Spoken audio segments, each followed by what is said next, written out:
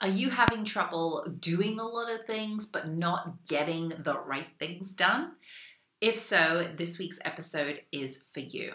We're going to continue the conversation on how to set soul aligned goals that truly light you up from the inside out so that you can focus on the right things in your life and in your career. So, this week we're going to talk about B in the formula, the second step. Last week, I spoke about the first part, which is A, all about achievement. What is it that you want to achieve? If you missed that video, make sure you click back and you go and watch that first. I'll wait for you if you need it. Okay, once you've watched that video, come back and we're going to talk about B. So, the B part of the formula is to explore because.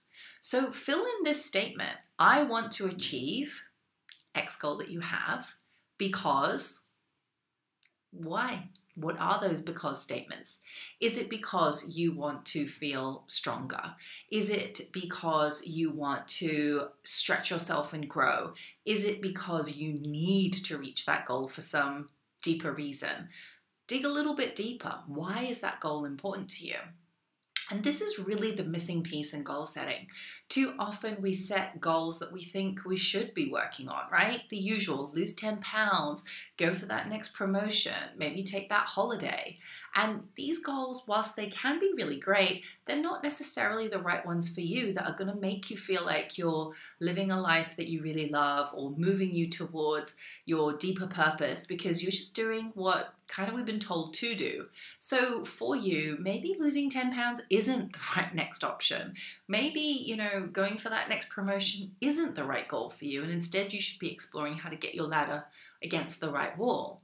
And maybe taking a holiday is something that you don't need to do and you need to crack on with your work. I don't know where you are in your life right now, but it's important to look at what is right for you.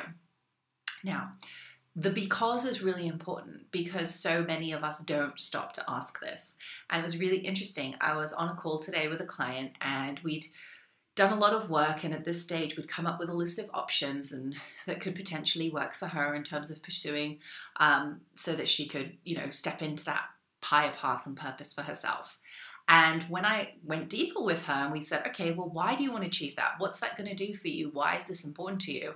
It was very clear that the things that she was stressing about and thinking that she should be doing actually weren't money making business ideas at all. They were just passion projects that it was time to kind of say, it's all right, and let them go.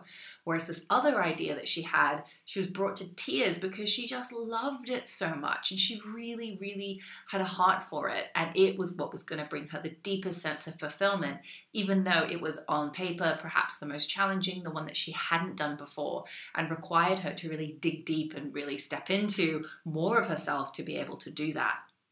And so we, we saved a lot of time because we weren't trying to monetize the little things. We realized that that wasn't the way for it to go. And she had one big focus.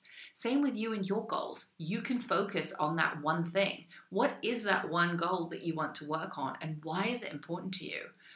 Who will it impact in your life and make better? Number one. Number two, what will it do for you? Either physically, emotionally, mentally, spiritually? What will that do for you? And what is that? When you say, why is it important to me? What answers come to you? Is it just because it will make you feel great? Is it just because you're going to get that next milestone and that next notch on the ladder? What does it look like for you? And ask yourself, what will that make me feel when I achieve that goal? Because these feelings are actually your dedication, dedicated words for success, and everybody has a different feeling and a different word. So I want to hear from you. Why is it that you're going after that goal? What is it going to do for you? What is it going to do for others? Why do you want it? And how is it going to make you feel when you achieve that goal? When you can ask yourself those questions and make sure that they feel like a whole hell body yes, then you know that you're on the right track. So leave a comment for me below and let me know what you have on your goal list and why it's important to you. I would love to hear what you're working on. In the meantime, stay tuned for next week where we're going to go deeper because once we know why you want your goal, there's still two more steps that you need to do before you can achieve it. So stay tuned and have a great week.